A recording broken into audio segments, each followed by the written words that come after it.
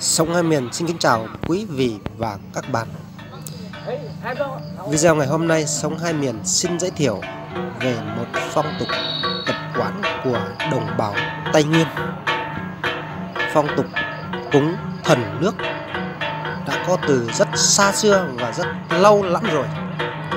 Đến bây giờ còn vẫn giữ được bản sắc ấy. Cụ thể video ngày hôm nay Sống hai miền sẽ giới thiệu về cúng thần nước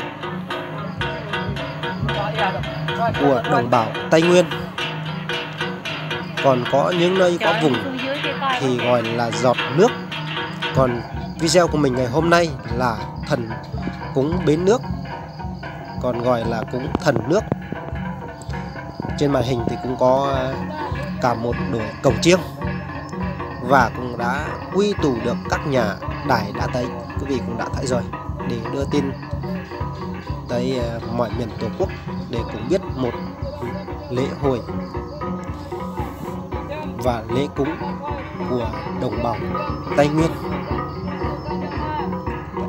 Đây là hai ông à, thầy thành cúng đã xuống để cúng thần nước.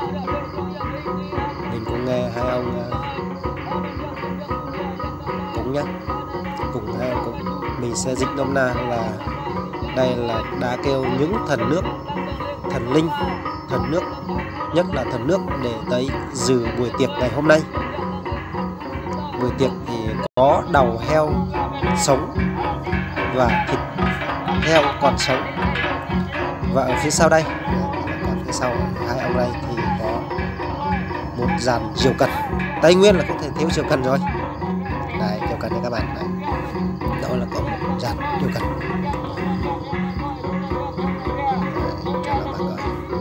Cổng chiêng thì phải liên tục đánh cổng chiêng để thao thức những thần linh về để dự hồi tiệc ngày hôm nay.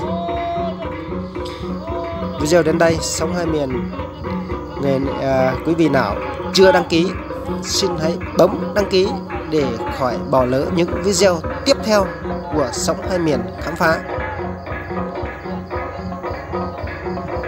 Quý vị hãy bấm đăng ký để người sống hai miền có động lực để làm những video tiếp theo.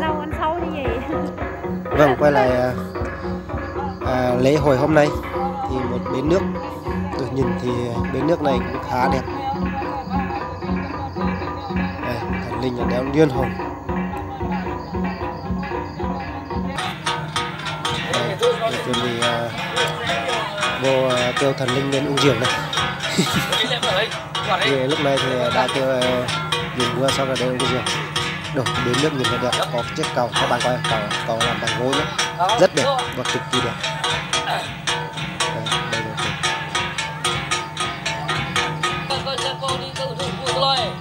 Đây, cuối cùng xong hai miền ờ, cũng ờ, kính chào. Quý vị và các bạn. À, một ngày hạnh phúc an lành. Xin chào.